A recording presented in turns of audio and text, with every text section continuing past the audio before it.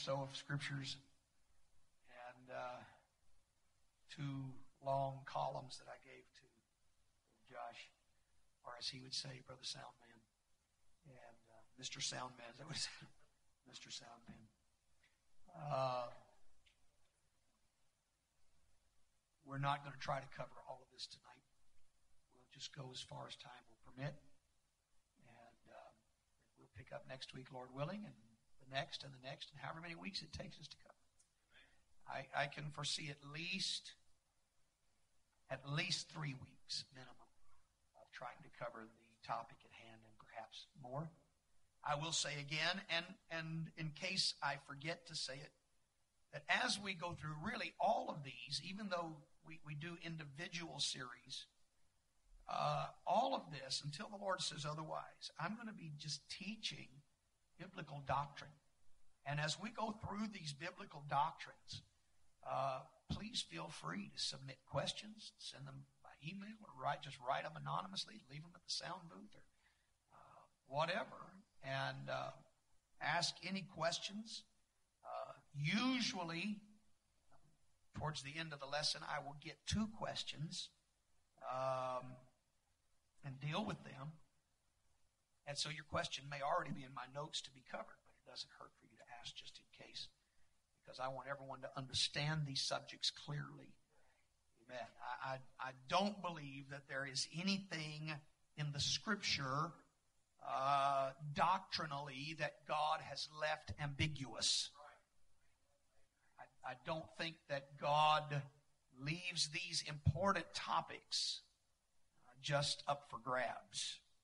I believe that He has provided answers in His Word, and uh, it's just a matter of searching the scriptures. Amen. And rightly dividing the word of truth. And when we do that, we have answers. We have answers.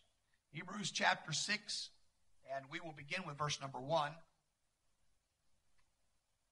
Hebrews 6 and verse 1. The Bible says, Therefore, leaving principles of the doctrine of Christ, let us go on unto perfection not laying again the foundation of repentance from dead works and of faith toward God, of the doctrine of baptisms and of laying on of hands, and of the resurrection of the dead and of eternal judgment. This will we do if God permit. Now, couple things I need to say here. First of all, what he said in verse 1, leaving the principles of the doctrine of Christ. Let's go on to perfection. He's not saying that we should never discuss these issues. He's saying these issues are settled. And there comes a time in our Christian walk that we need to get beyond just these issues. There's a lot more in the scripture than just this. However, the apostle himself dealt with these issues uh, at times when he felt it was necessary. So he he was trying to say to the Hebrews in general that look, there comes a time you got to get beyond these items. There comes a time in your walk with God that we've got to get on to some deeper things. But he wasn't saying they're not important. In fact, he called them the principles of the doctrine of Christ, and he called them the foundation. The foundation. And what is the foundation? Repentance from dead works, faith toward God, the doctrine of baptisms. That's in the plural. then he goes on and mentions some other things laying on of hands, the resurrection of the dead, eternal judgment. And all of these things make up the foundation of the doctrine of Christ. This is the foundation of the doctrine of Christ. Amen. And um, I will point out to you that this foundation is not just believing, but it's also repentance and baptisms. baptisms. And um, we're going to deal with one doctrine of baptism over the next few weeks. And then when we conclude this, the Lord willing, we will go into another baptism. We want to start tonight dealing with baptism by water. Then in the weeks to come, we'll deal with the baptism of the Spirit. Amen. Praise God. And all these things, again, are part of the foundation of the doctrine of Christ. Repentance, we've dealt with. Tonight we begin the doctrine of baptism. Amen. Praise God. And, uh, so I, I want you to put your Bibles down. I want you to pray with me. Let's ask the Lord to speak to our hearts tonight. And again, I don't want you just to understand. I don't want you just to comprehend. But I want the Lord to grant revelation in this service tonight. So could we pray that prayer tonight? Let's pray that God would reveal truth to us. Everybody, let's lift our voices to the Lord right now. Jesus, oh, I love you. I thank you, God, for your goodness. I ask you, Lord, that you help me. I need touch the Ghost. I cannot do this without you, God. I ask, Lord, for your help. I ask for your unction. I pray, God, tonight that it would be more than just explanation from a man, that there would be revelation from the Spirit. We need the touch of your Spirit tonight in this service. I pray, God, that you would, Lord, we thank you. In Jesus' name, in Jesus' name, let's praise Him one more time, everybody. Can we do that? Let's give God some praise. Hallelujah.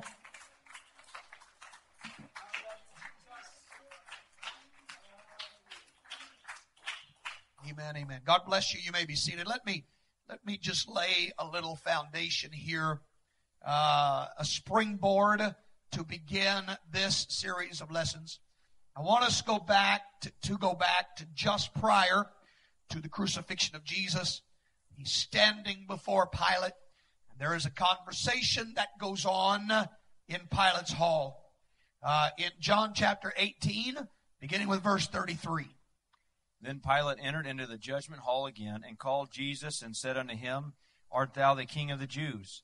And Jesus answered him, Sayest thou this thing of thyself, or did others tell it of thee? Tell it thee of me. Pilate answered, Am I a Jew? Thine own nation and the chief priests have delivered thee unto me. What hast thou done? Jesus answered, My kingdom is not of this world. If my kingdom were of this world, then would my servants fight, that I should not be delivered to the Jews. But now is my kingdom not, far, not from hence. Pilate therefore said unto him, Art thou, art thou a king then? Jesus answered, Thou sayest that I am a king. To this end was I born, and for this cause came I into the world, that I should bear witness unto the truth. Every one that is of the truth heareth my voice. Right, now, now hang on just a minute. Notice the way the conversation's leading. Pilate keeps pressing Jesus to say something that would amount to political insurrection. He wants him to admit to being a king. Jesus really does not answer that question. But he said, I will tell you this. My purpose for coming into this world was to bear witness to the truth. That's what I came for. He said, To this end was I born, for this cause came I into the world, that I should bear witness unto the truth. Everyone that is of the truth heareth my voice. Read. Pilate saith unto him, Pilate said to him, What is true? What is true? Now, I, I want to tell you, this is the question of the ages. In fact, any time that you get to dealing with folks and trying to show them scripture, it invariably comes back to this. Well, how do we know the truth? What is the truth? You say one thing, the church down the road says another. Everybody's uh, saying they're right. How do we know the truth? And and Pilate asked him, "What is truth?" All right, let's just finish the verse so we can go on. And when he had said this, he went out again unto the Jews and said unto them, I find in him no fault at all. no fault. Now, this is, if you can see up here at the top, and if you were paying attention, this is John chapter Can you see that? John chapter 18. Pilate asks the question. Now, just a few hours before this question is asked, Jesus is standing with his disciples. They have just had what we call the Last Supper or the Lord's Supper. Just a few hours prior. John chapter 17. In that, there was more than just taking the fruit of the vine and the bread. It was church. And Jesus preached a message. In fact, in fact, if you understand the book of John, all of this begins in, in John chapter 13. Jesus taking the basin and the towel and washing their feet. But when he finishes that, he launches into a sermon that is covered in chapters 14, 15, 16, and 17. I'm glad I'm not the only long winded preacher. I just want to be like my Lord. Hallelujah.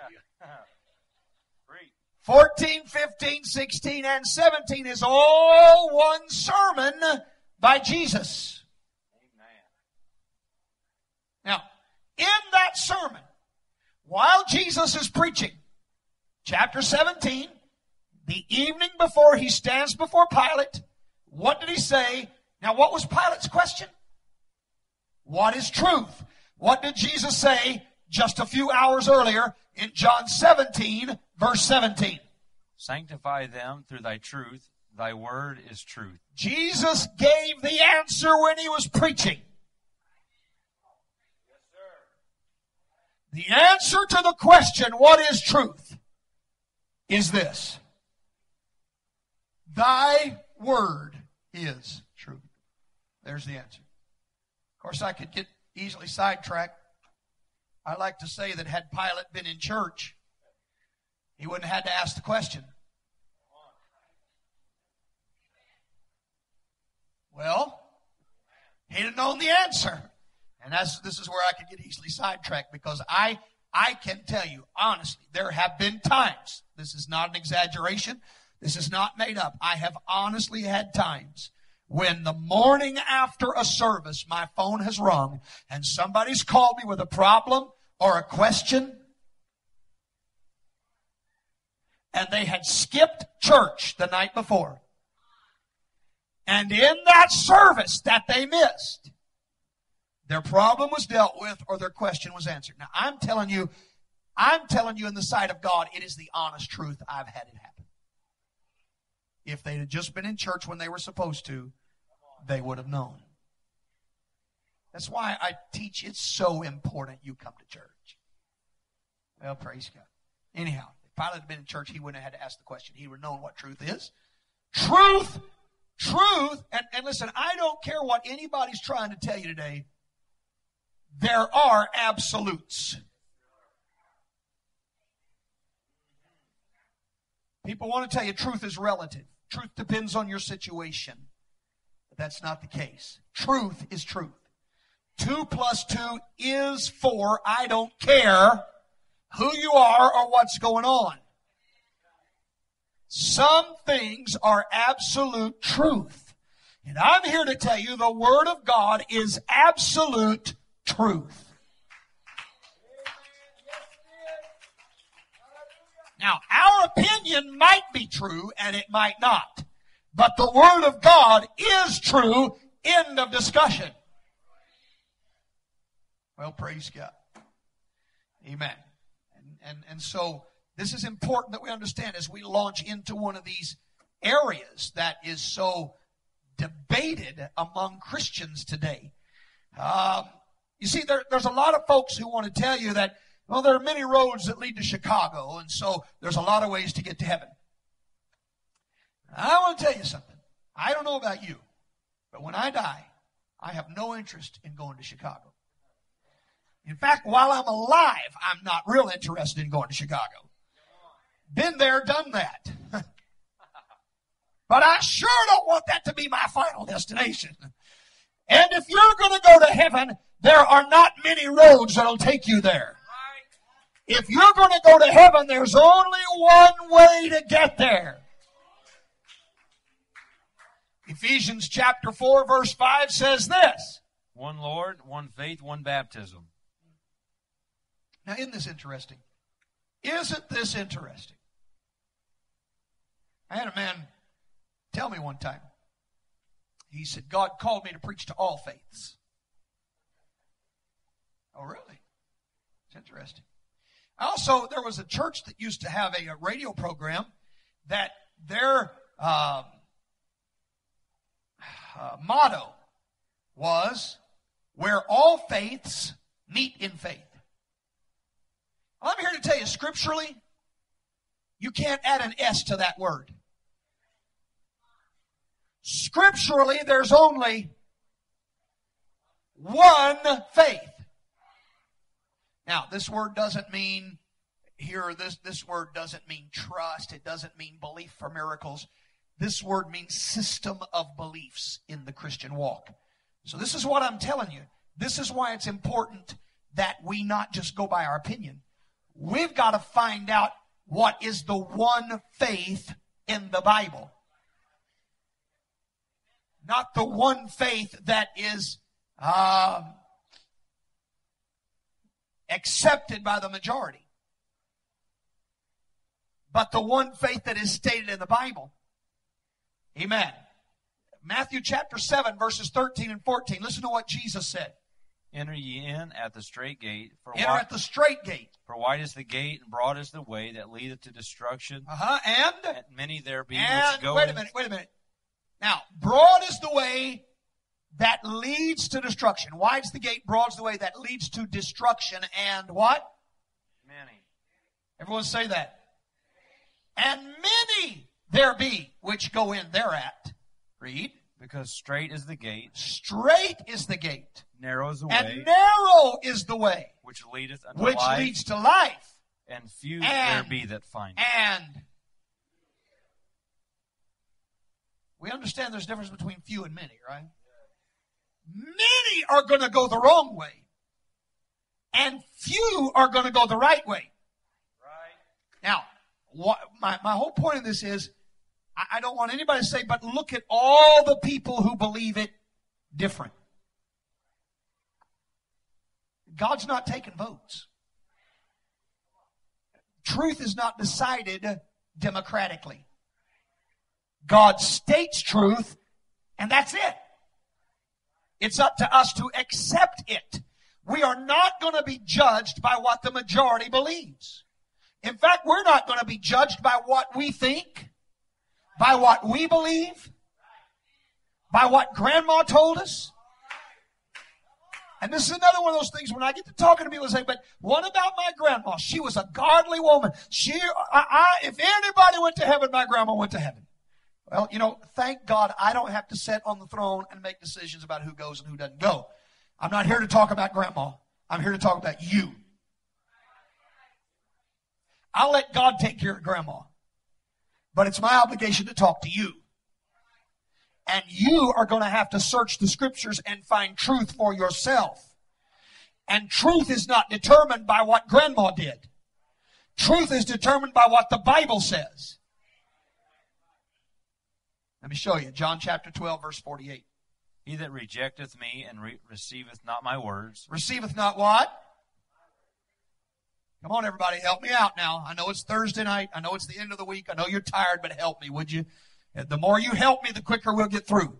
But when you're not helping me, I think you're not getting it. I have to take longer. So, so if we're here an hour and a half, don't blame me. Blame yourself. All right, now somebody's getting with the program here. All right, receiveth not what?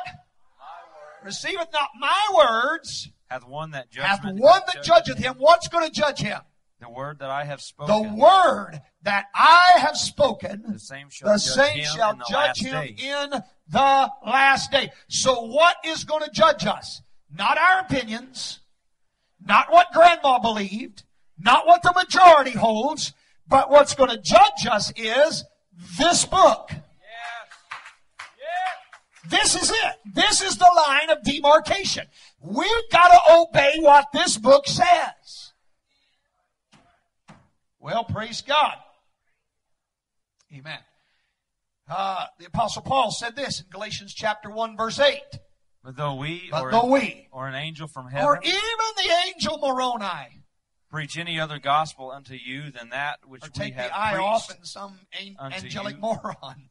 But anyhow, I didn't call the people that. I I'm talking about fake angels. All right, uh, because any anything that's going to appear, if if if if, and that's a big if, if Joseph Smith really saw an angel, what he saw was a fallen angel. You Yes. He didn't see an angel of God. Right. I believe that. And this is the reason why. Because Paul said it doesn't matter if it is an angel from heaven. If they preach any other gospel than that which we, the apostles, have preached to you, let him be accursed. Well, hallelujah. So there is no other gospel. There's only one gospel. There's only one message that we need to preach. And and Romans chapter 3 verse 4, let's read this. God forbid, yea, let God be true, but every man a liar, as it is All right. written. All right, look. I'm going to try to hurry through some of these verses, but this is what's important. Again, it doesn't matter if it's 99 and 44 one hundredths percent of the Christian churches that preach it some other way. We have to let God be true. God's word is truth, not a denominational handbook, not a decree from the Vatican. Right. God's word is truth. And so he said, let God be true. But every man a liar. Did that say what I think it says? So when they say, you know, that certain men on earth have the authority to get up and change the scripture, we know better than that, don't we? Let every let every man be a liar if that's what they got to be, but God's going to be true. So when it comes to that book, nobody's got the authority to change that book. Hallelujah. Amen. And we must be careful. We must be careful that we do not allow our tradition to stand in the way of truth. Matthew chapter 15, verse 3. But he answered and said unto them, Why do you also transgress the commandment of God by your tradition? Transgressing the commandment of God by what? Traditions. And I'm telling you, there's a lot of folks that do that. A lot of folks that are so bound by what they've always believed that they refuse to open their eyes to what the Scripture says. Look, tradition may be comfortable, tradition may be convenient, tradition may be familiar, tradition may be acceptable. But look what truth does. John 8 and 32.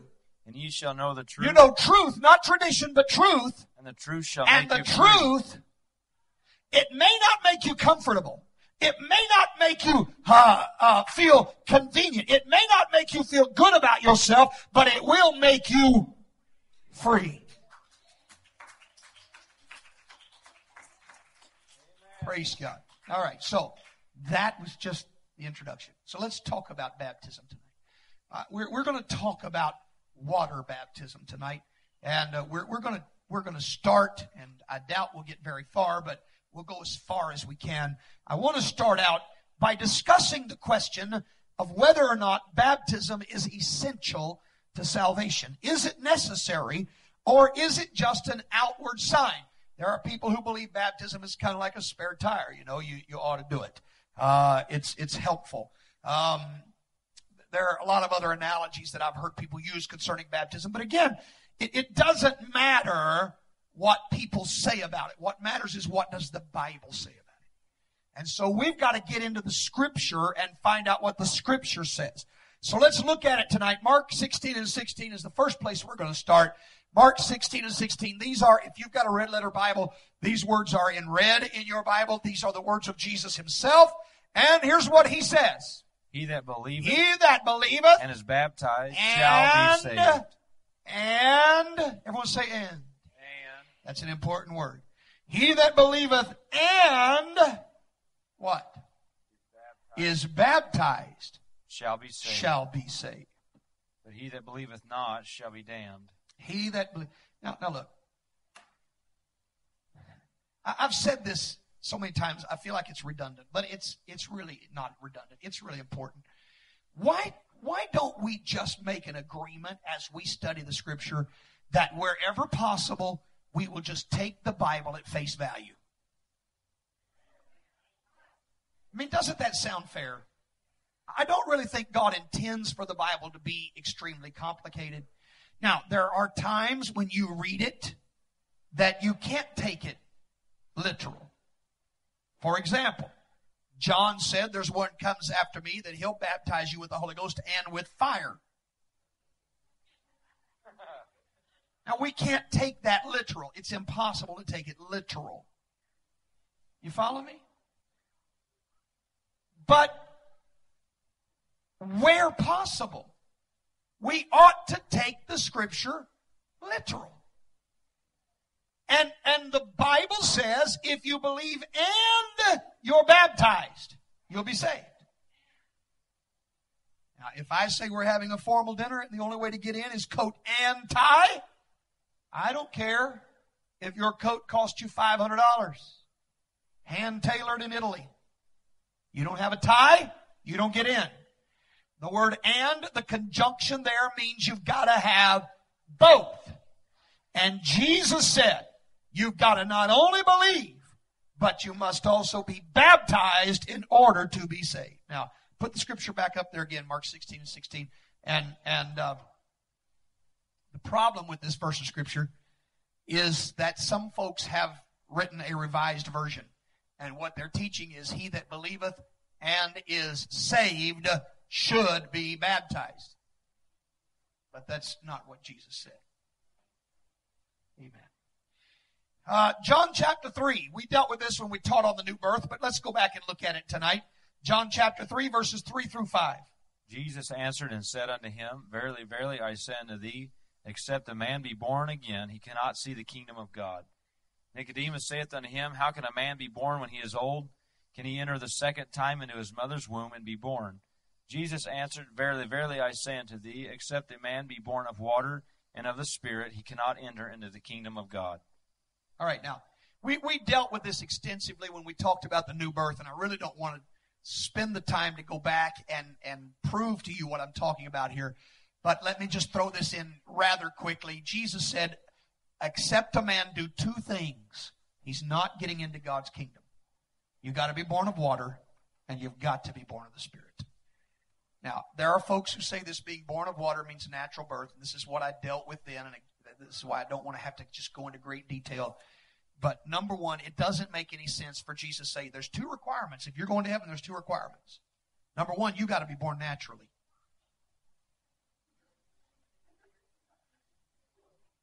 Something about that just seems extremely unnecessary. Two requirements. If you're going to heaven, you got to be born naturally and you got to be born spiritually. Doesn't quite add up. Uh, we talked about the whole dry birth process. Uh, babies that are born without the rush of water from breaking of the amniotic sac. And uh, I, I, don't think there's anybody that would say that Jesus would condemn a dry born baby to hell for circumstances beyond his control. Jesus said, You've got to be born of water. And he's not talking about a natural birth. And, and let me let me give you some scripture to prove that. All right. Now, what I, I talked about the the breaking of the amniotic sac in the lesson on the new birth. So I want to take a little different angle tonight as we talk about it. Go over to John chapter 19 and verse 34. And I want to build a little case here. John 19 and 34. But one of the soldiers with a spear pierced his side. All right, now, this pronoun his everybody understands is referring to Jesus, right?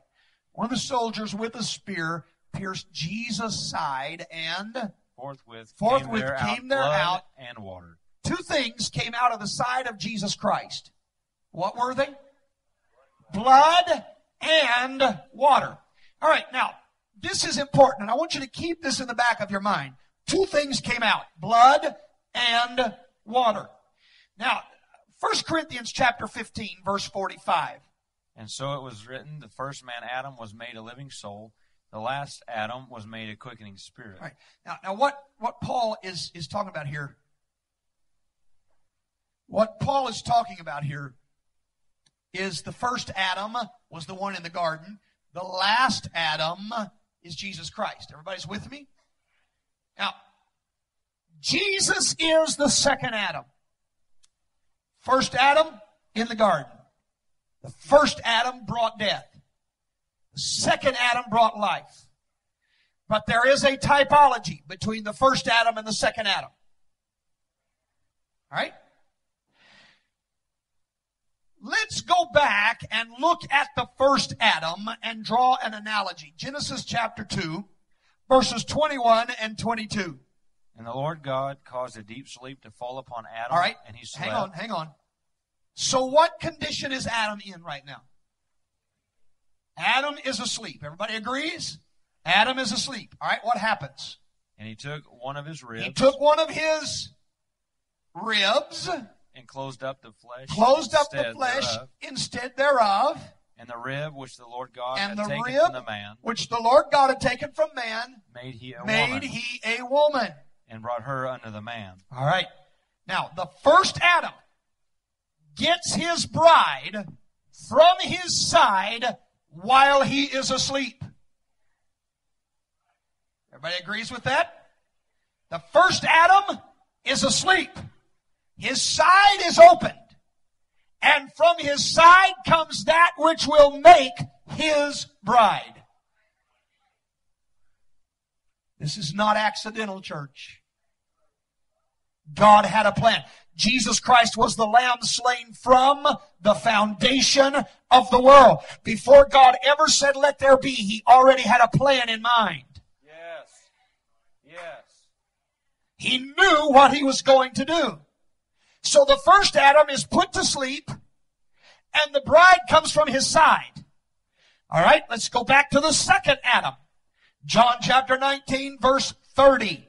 When Jesus therefore had received the vinegar, he said, It is finished. And he bowed his He head bowed his head and gave up the and ghost. gave up the ghost. We understand in verse 30, Jesus was dead. He died, verse 30. Everybody's with me? He's asleep in death. Four verses later, go back and put verse 34 back up if you would. John 19, verse 34. Uh, verse 34 says this. Read it for me. But one of the soldiers with a spear This is after Jesus is asleep in death. One of the soldiers with a spear pierced his side, side, and forthwith and came there out blood came there and out water. Blood and water. Now, I'm telling you, the first Adam got his bride from his side while he slept. The second Adam gets his bride from his side when he was asleep. I'm telling you that from the elements that came out of the side of Jesus Christ is how God makes up the bride of Christ. It's not just the blood, but it was blood and water. This is why 1 John 5 and 8 says what it does. And there are three that bear There are witness in three that earth, bear witness in earth. the spirit, The Spirit the water, and the water and the blood. and the blood. And these three And agree these in three one. agree in one. Hallelujah. The water and the blood work together with the Spirit to make up the bride of the second Adam. Well, praise God. We cannot neglect the importance of the water. Amen. So in John 3 and 5, we not only must be born of the Spirit, we got to be born of the water. Amen. Acts chapter 2, verse 37. Now when they heard this, they were pricked in their heart, and said unto Peter and to the rest of the apostles, Men and brethren, what shall we do? All right, now, th- this is, and I've pointed this out before, but this is the first time in the era of the church in which you have actual sinners asking how to be saved. Now, don't take me to the thief in, on the cross. Thief on the cross was not during the church age. We'll deal with that more towards the end of the lesson. But this is the first time in the church age. The church was born on the day of Pentecost, Acts chapter 2. The first time in the church age that sinners asked directly, What shall we do? Tell us how to be saved. Now, they said unto whom? Are you still out there? They said unto whom? Some of you are thinking about ice cream and sausages. They said unto Peter, that's important, and the rest of the apostles. Men and brethren, what should we do? Now, why is it important that they addressed it to Peter? And why didn't they address it to John and the rest of the apostles? Why didn't the scripture say that they said unto Matthew and the rest of the apostles?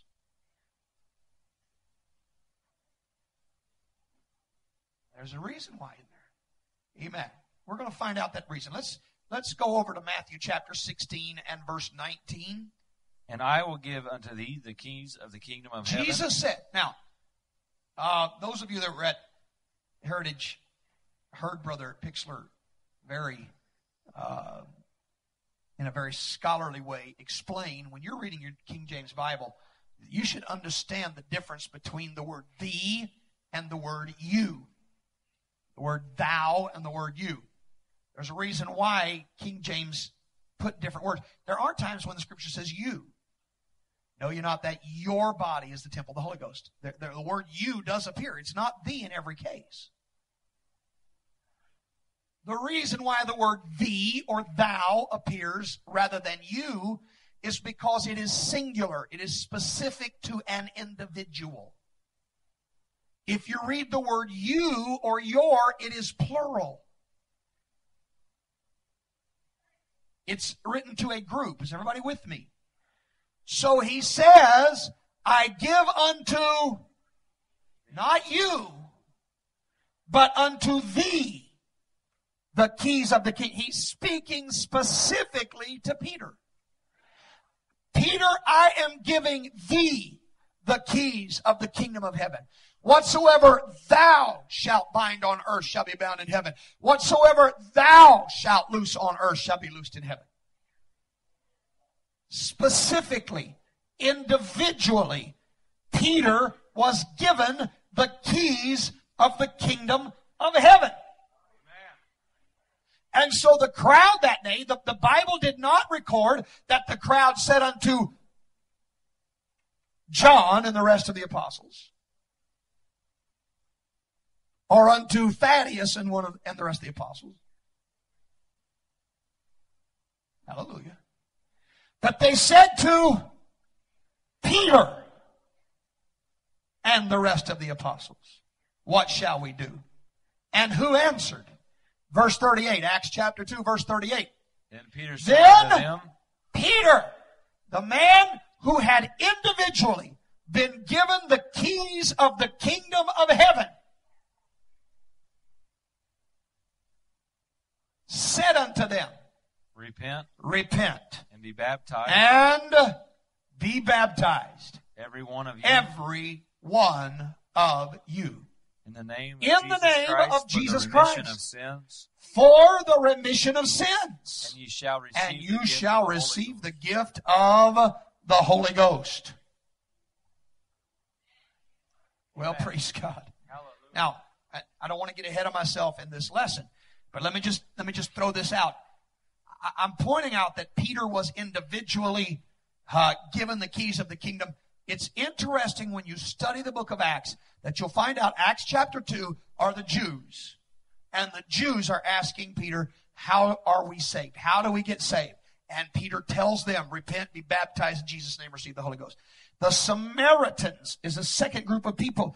Uh, they're down there, Philip's down there preaching to the Samaritans, but they can't seem to get the Holy Ghost until Peter comes and lays hands on them. They're baptized in Jesus' name, and Peter prays for them and they receive the Holy Ghost. Peter was there and opened the door to the Samaritans. Who is it that sent to the Gentiles? Now we know Paul becomes the apostle to the Gentiles, but Paul wasn't the first one to preach to a Gentile. It was specifically Peter who told Cornelius and his household how to be saved. Amen. I believe that all of that is a direct fulfillment of Matthew 16 when Jesus said, I'm giving you the keys of the kingdom. You're going to have to open the door to every class of people, Jew, Gentile, and in between. That's your job, Peter. You got to do the work. And He said to them, not believe on the Lord, not accept Christ as your Savior, but He said, repent. We've talked about repentance.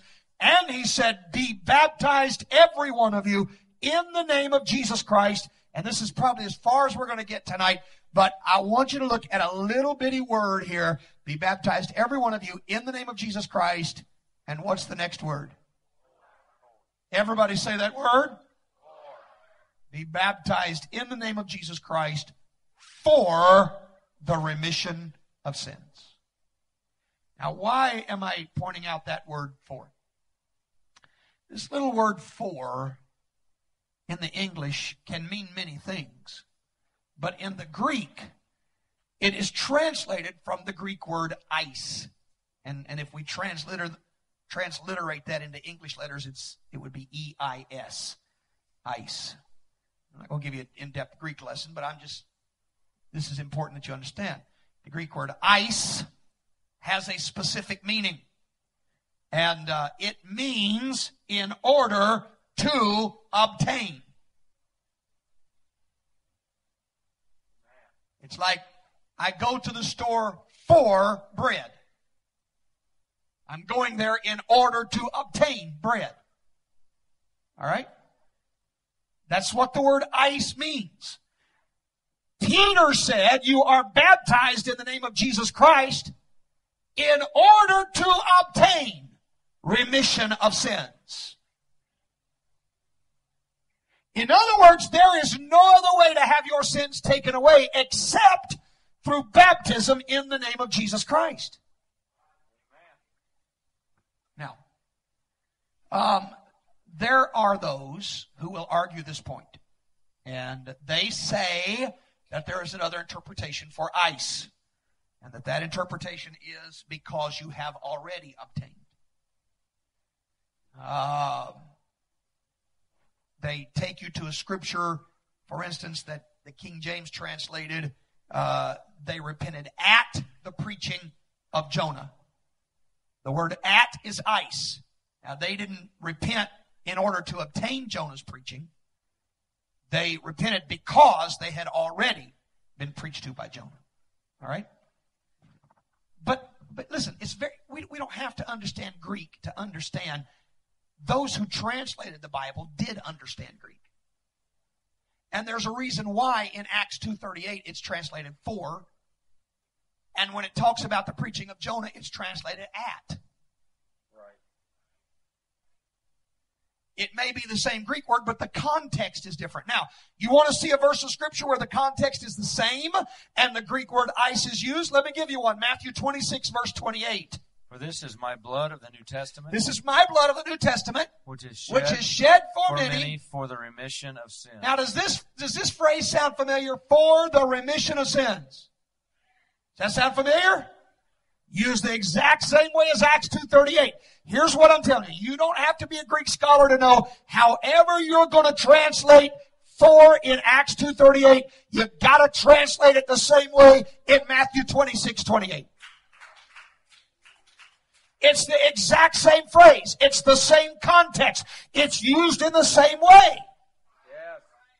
So if Acts 2.38 means you're baptized because your sins are already remitted, then the Bible says that Jesus shed his blood because your sins were already remitted. Come on. And we know that's not the case.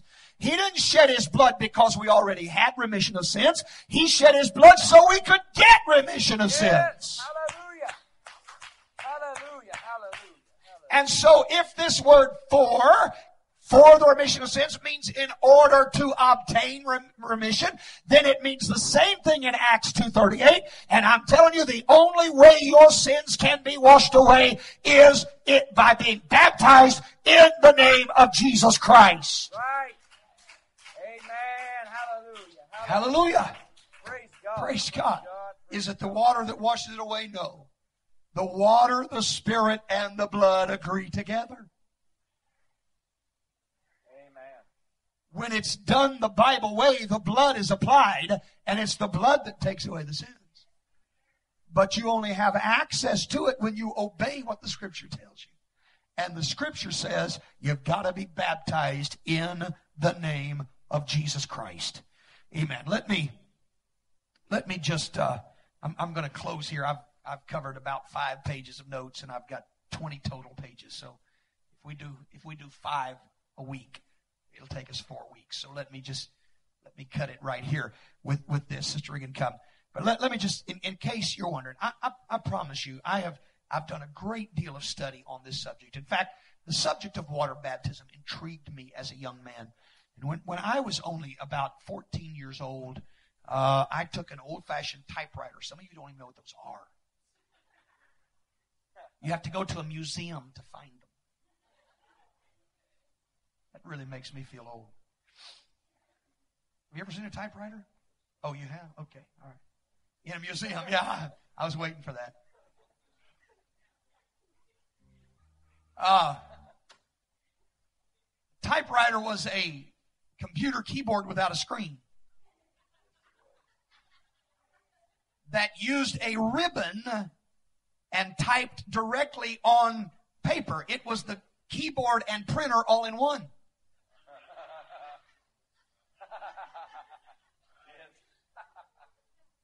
I'm trying to explain for the younger generation. I mean, I know this sounds simplistic for you older folks, but you know, the younger generation doesn't understand what a typewriter is.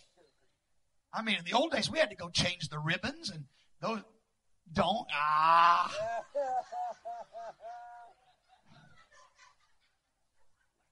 She's trying to act like she's too young to remember.